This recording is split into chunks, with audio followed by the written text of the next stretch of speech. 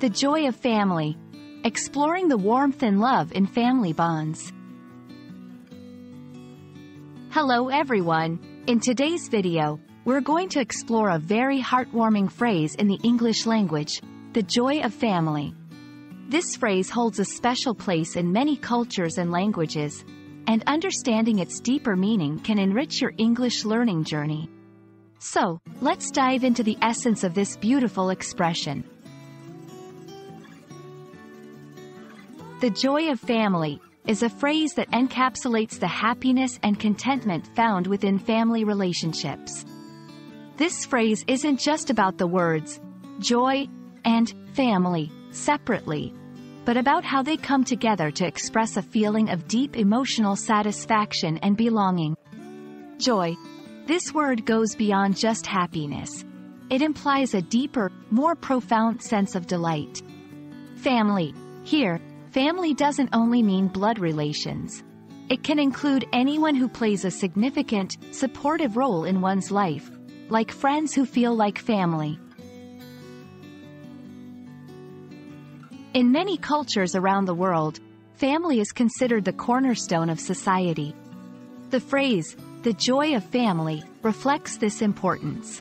In some cultures, families provide not just emotional support but also play a key role in social and economic aspects of life. The phrase also acknowledges that joy can come from simple moments with family, like shared meals or conversations. You might hear this phrase used in various contexts, from casual conversations to formal speeches. Here are a few examples.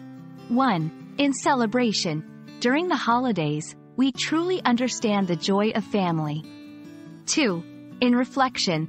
Looking back, I realize that the joy of family was my biggest support. Notice how the phrase adds emotional depth and warmth to these statements. Family isn't just a source of joy, it also plays a crucial role in shaping our identity and values. The family environment is often where one learns about love, trust, and support. The joy of family can be a guiding force, providing comfort in difficult times and joy in happy moments.